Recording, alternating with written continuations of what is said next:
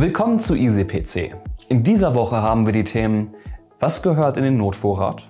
Der West-Nil-Virus, das versteigerte Tizian-Gemälde, Intel in Magdeburg und Tech-Allianz, Login ohne Passwort.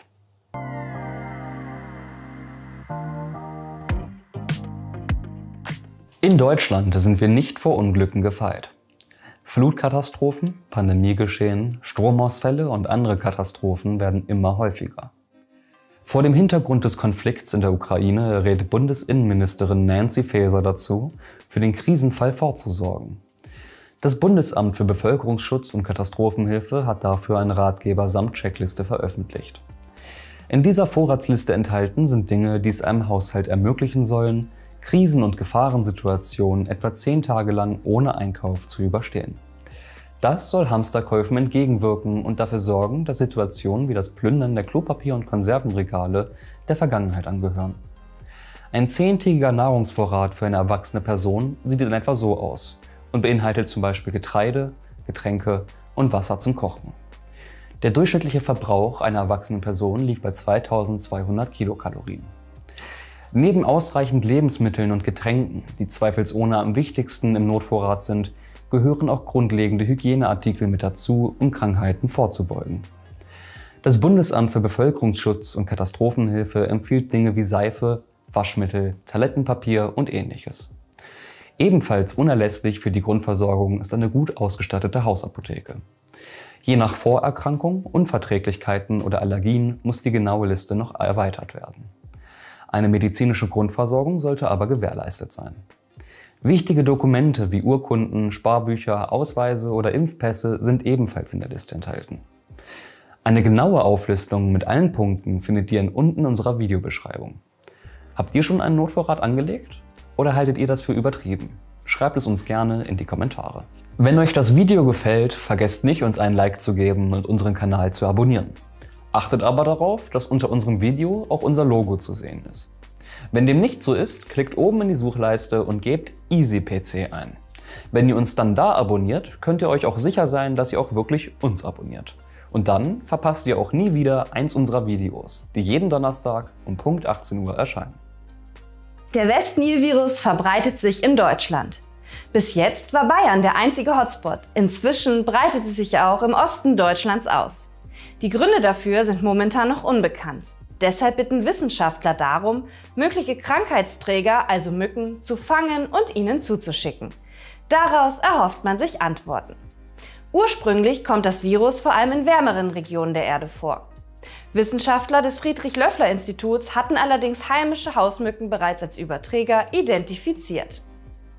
Das Virus kann in den Mücken sogar überwintern und entwickelt sich besser, je wärmer es wird. Der Klimawandel fördert die Verbreitung des Virus also ungemein. Besonders, weil deshalb auch exotische Mückenarten einwandern, die sowieso schon Träger des Virus sind.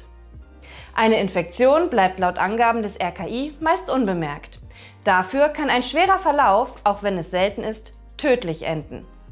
Wer die Wissenschaft in diesem Unterfangen unterstützen möchte, der ist dazu aufgerufen, Mücken an das ZALF, also das Leibniz Zentrum für Agrarlandschaftsforschung, zu schicken. Die büßende Magdalena wurde verkauft.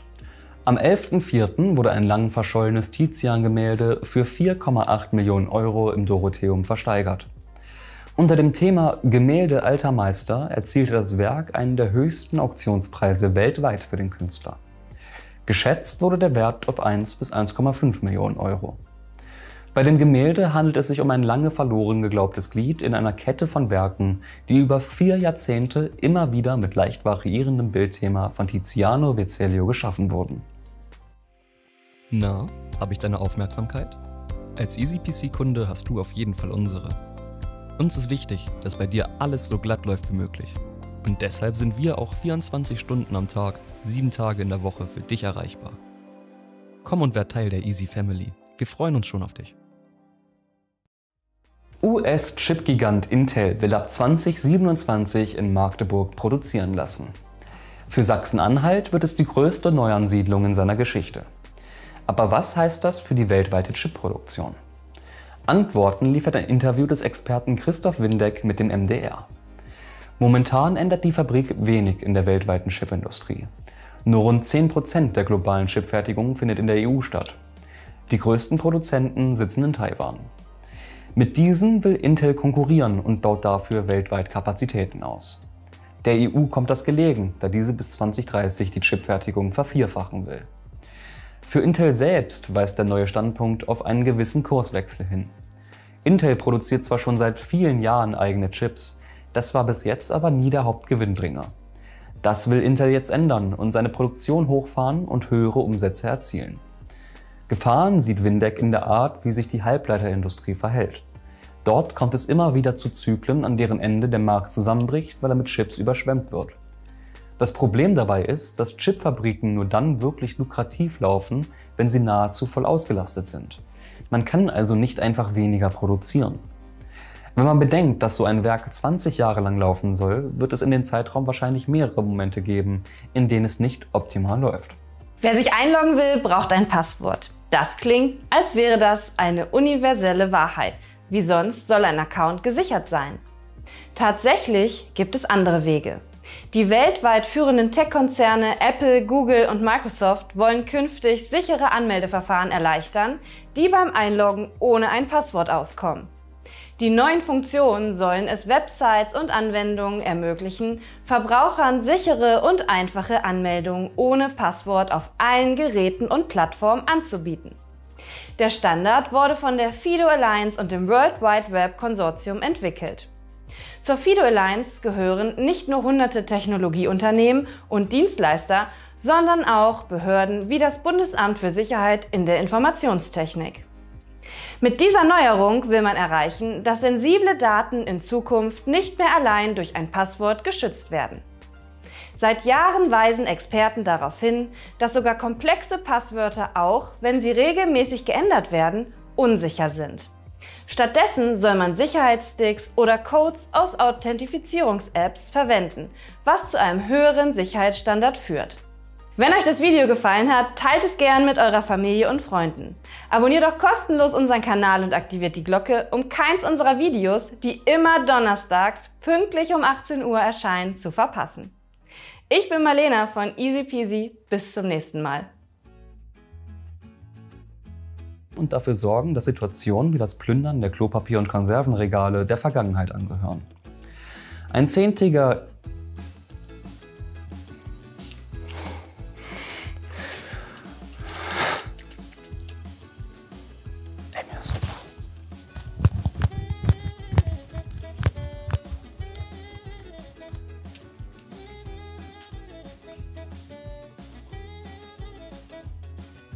Stattdessen soll man Sicherheitssticks oder Codes aus Authentifizierungs-Apps Geräten und Plattformen anzubieten. Der Standard wurde von der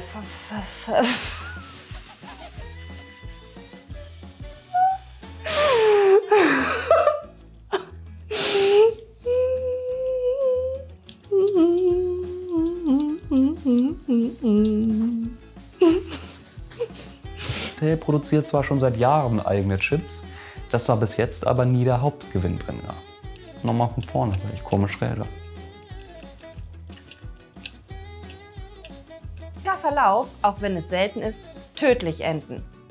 Wer die Wissenschaft in diesem Unterfangen unterstützen möchte, der ist dazu aufgerufen, Mücken an das ZALF, also das Leibniz Zentrum für Agrarlandschaftsforschung, zu schicken.